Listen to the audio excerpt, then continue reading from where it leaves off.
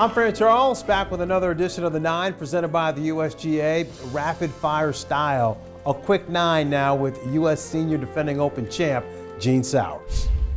My lowest score was, I think, a 60 on Pinehurst number six. I have five hole in ones. What was the most recent? Well, I was at, at home at uh, Berkeley Hall. I, I hit a three iron, about 220 yard hole in one. We didn't see it going. It was over a mound. Pin was back into a. Um, golf superstitions, not really. I usually use a, uh, a nickel to mark my balls. Usually that's that's that's when I've won all my tournaments. They've all been with nickels, so maybe maybe that's it.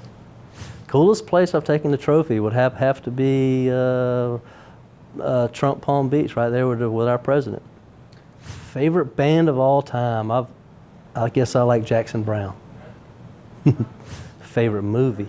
Um, seems like old times. Goldie Hawn and uh, Chevy Chase.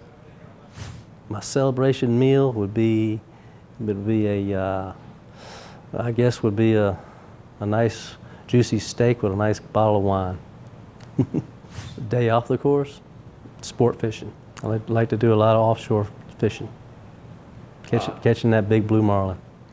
My favorite pro or college sports team, I guess college sport team would be the Florida Gators. Of course, I'm a Georgia Southern fan, but I, have went to Georgia Southern. They might, they might get mad at me at that, but I'm a, I've been a Gator fan ever since I was six years old.